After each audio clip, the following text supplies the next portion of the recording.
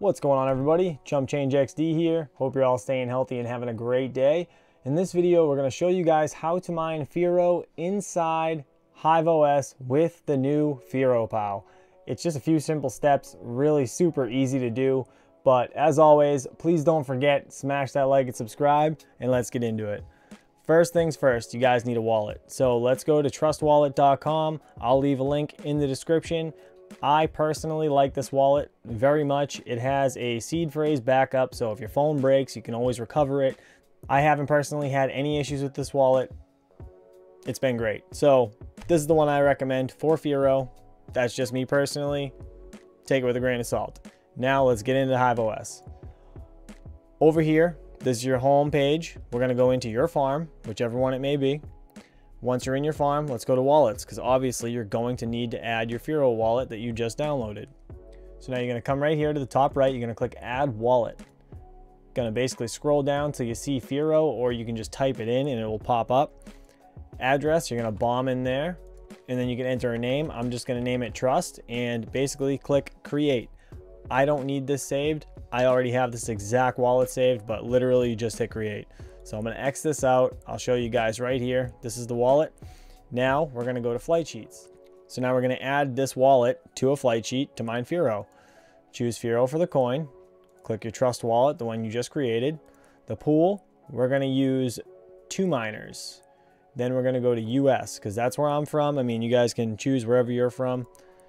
Apply, then we're gonna go to miner. I'm gonna go to T-Rex miner and then I'm gonna go to setup miner config right here where it says MTP. You need to change this to FiroPow. So just type in F and it should pop up. If it doesn't, you can manually type in the entire thing. And literally that's it. You apply changes and save the flight sheet. That's if you want to mine with every card in that rig to FiroPow. If you only want to mine with one or two cards, we can go back to the miner config. You want to come down here to the extra arguments and hover your mouse over the eye. Click on devices. Now you can see how it shows parentheses, four, five, six, and another set of parentheses with a comma in between separating each GPU. You can literally change these numbers to zero through however many cards you have in the rig. So say you have 13 cards like I have in most of my rigs, you will put 0 as 1 and 12 as the 13th. So I'm going to type in, we'll just put 0.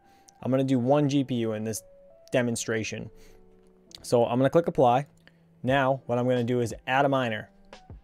I'm going to choose a coin. I'll just choose Ethereum. I will choose my Exodus wallet. I will go down to Ethermine because that's what I choose to mine Ethereum on. I will go to US East because that's my location. Miner, basically gonna choose anything but T-Rex miner because we're already using it. We cannot use the same miner on the same flight sheet. It will not work. So next best thing, NB miner, does pretty good with uh, LHR cards. So we'll do that. Then we're gonna go to setup miner config. Everything is okay in here except for the devices. We have zero chosen on the other sheet. So we're gonna delete that and we're gonna start with one. And then we're gonna do two, comma, three, comma, four, comma, five, six, seven, eight, nine, 10, 11, and 12. That's it. All the cards right there in my rig, zeros on the other side of the flight sheet, and everything else is gonna be Inside NB Miner, click Apply Changes and enter the name. We will just call this FiroPow and create the flight sheet. So now, as you can see right here, we have Trust Wallet with Firo and Ethereum with my Exodus wallet. I'm gonna choose a star on this, just like my Shiba Ethereum wallet. If you guys haven't seen that video, I'll leave a link above. But now we'll go over workers and I can choose basically any one of my 13 card rigs. I have six right here to choose from. So I don't know, I'll just choose this one to say. I'm gonna click on flight sheet. You're gonna go down to the one you just created and choose it. Then you need to hit the rocket ship. Fair warning, Firo is somewhat like KawPow when it comes to Ravencoin. It is very core intensive, so it is going to draw more power. So if you are already almost maxed out on your PSU, on your PDU, any of the above, please take into account the electricity you're going to be pulling. So I cannot personally execute this flight sheet because my power at my mining garage is like already above where I would like it to be.